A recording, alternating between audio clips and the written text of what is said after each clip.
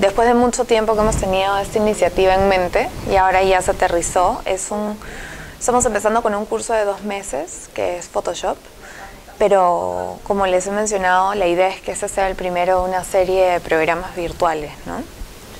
Eh, todo relacionado al diseño.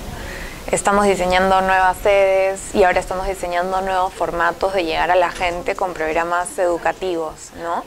Eh, porque de hecho mucha gente puede estar interesada en llevar los cursos, pero hay un tema de distancias, desplazamientos, tiempo, ¿no? Y la opción virtual es una opción muy práctica eh, y Toulouse está, está hambriento de poder llegar a toda esa gente, ¿no? Y llevar los conocimientos a los que más lo necesitan, dentro de Lima y también en provincias. Y como te digo, empezamos con Photoshop, empieza este mmm, quincena de octubre, y para el próximo año estamos con una batería de cursos adicionales. Eh, tenemos un montón de gente interesada en provincias eh, y de hecho acá también en Lima mismo, ¿no? El tráfico cada vez es peor y llegar, salir del trabajo para ir a un punto en otro distrito este, puede tomarte fácilmente dos horas, ¿no?